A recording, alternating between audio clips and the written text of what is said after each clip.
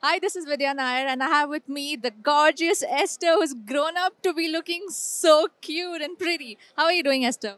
I'm good. How are you?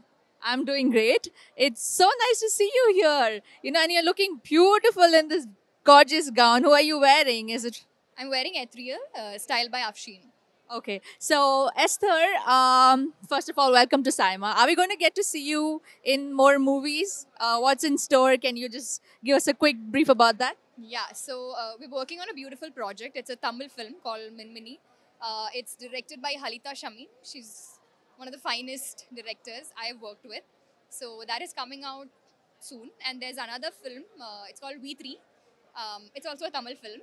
Varalakshmi Sharat Kumar is coming in the lead. So yeah, that's two projects currently. So I have a fun question for you. If you had to choose two actresses from other industries in South on a girls' road trip, who would that be?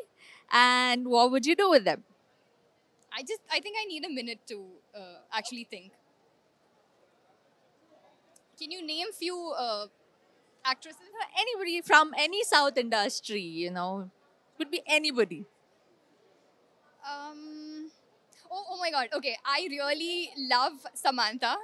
I mean, I watch her on Uanta Mama. I mean, in so so many other films, but I've become a total fan after that. So I, I mean, if she's interested, I'd definitely take her with me. And who else? Who else?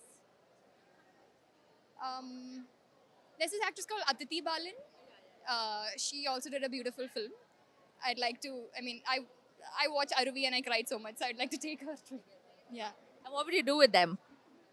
Oh, fun thing it's a road trip, so you can listen to music, you can share your playlist. And Are you going to be the one playing the songs? No, I'm really bad at it. I never share my playlist. I like to listen to what other people's playlists, yeah. All right, thank you so much, Esther. That was fun. And anyway, welcome to SIIMA again and hope to see you here more often. Thank you. Hi, hello, good evening. Welcome to SIIMA 2022. Here we have the beautiful Karuna Bhushan garu. Ela unnaranడి నేను బాగున్నాను మీరు ఎలా ఉన్నారు చాలా బాగున్నాను. So ఎలా ఉంది సైమా హడావిడి?